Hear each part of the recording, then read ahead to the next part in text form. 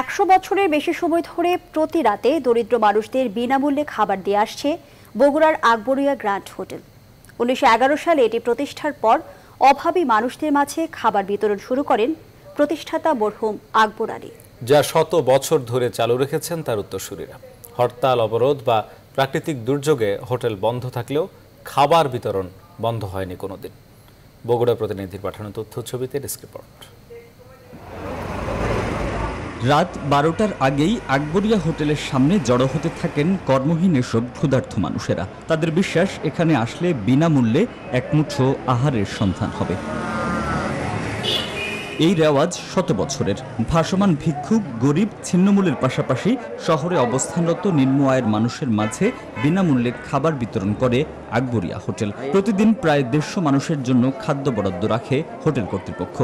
যখন কামাই কাজ না হয় তখন আমি এখানে খাই। বিক্রি টিকে করি সারাদিন না খাতে কি আকবরে ভাত খাই খাই বই যায় আজ প্রায় বিশ বছর হলো এখানে আমি খাওয়া দাওয়া করি। শুধু ব্যবসা প্রতিষ্ঠান হিসেবে নয় মানব সেবায়ও শত বর্ষ পেরিয়েছে আকবরিয়া হোটেল। করোনাকালে হোটেল ব্যবসার মন্দার মাঝেও অব্যাহত আছে এই মহতি উদ্যোগ।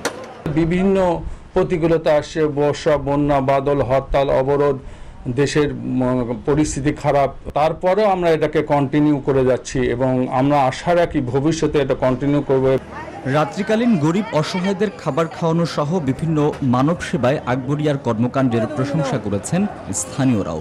বগুড়া শহরের এক শ্রেণির ছিন্নমূল মানুষ তারা বিশ্বাস করে যে প্রত্যেক দিন রাতের সাড়ে এগারোটার সময় আমি খাবারটি পাবো। আকবরিয়ার মতো প্রতিষ্ঠান থেকে যে মানুষগুলো এই সুবিধাটা পায় রাতের বেলার খাবার সকাল বেলার খাবার যারা পায় তো তাদের ক্ষুধার জ্বালা না থাকার কারণেই কিন্তু তারা আর কোনো অপকর্মের ভিতরে তারা যায় না। উনিশশো এগারো সালে বগুড়া শহরের থানা রোডে আকবরিয়া হোটেল প্রতিষ্ঠা করেন আলহাজ আকবর আলী। ব্যবসার আয় থেকে অসহায়দের মাঝে খাবার বিতরণ শুরু করেন তিনি। তার মৃত্যুর পরও মানব সেবার এই ধারা অব্যাহত রেখেছেন তার উত্তরসূরিটা